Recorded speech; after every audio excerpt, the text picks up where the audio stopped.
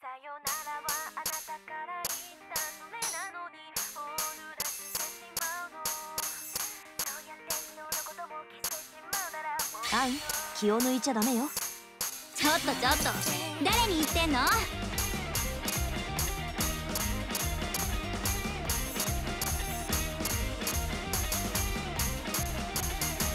見せ場が来たね。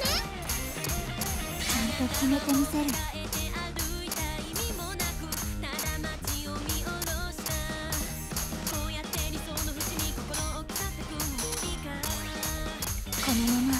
後まで頑張れ頑張れねえ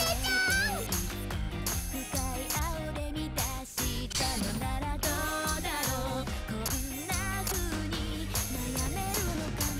このドキドキあんちゃんも感じてるもちろんでももっとドキドキさせてあげる。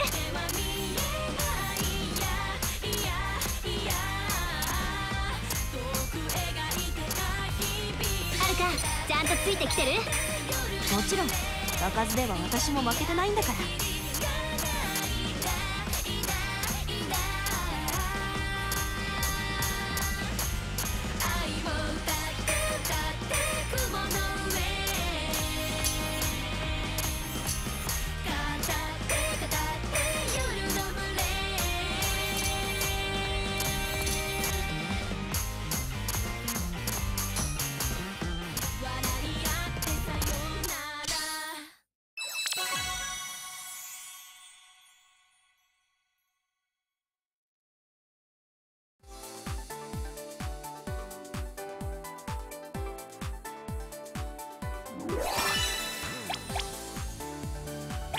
もう少し続けてもいいかな。